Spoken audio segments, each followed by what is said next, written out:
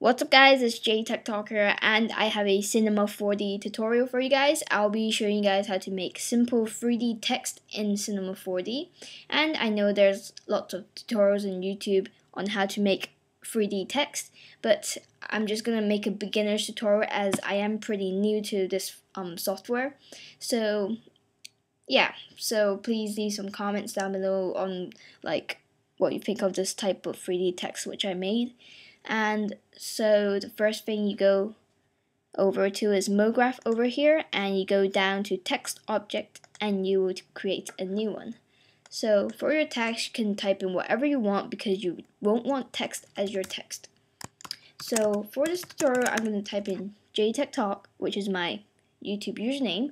So yeah just put in your text and you can change your font.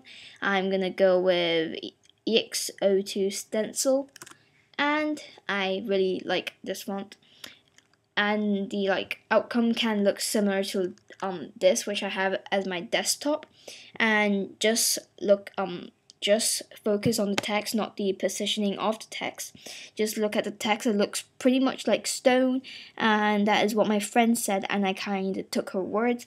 So it looks like stone the outcome will look like stone. And as you see Cinema 4D has already made your text into a 3D version. So I'm just going to reposition this over. Oops. And yeah. Okay, so next thing you're going to do to make this even better is change the depth of your text.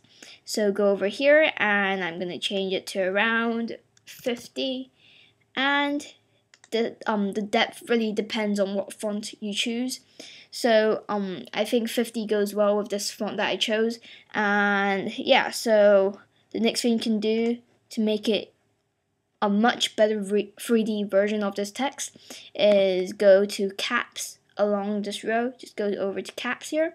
And you can go down and at start you will want to add a fillet cap. And yeah, so it looks much better now. It's got like rounded off edges.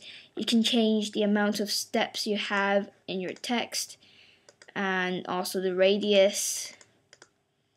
And yeah, so now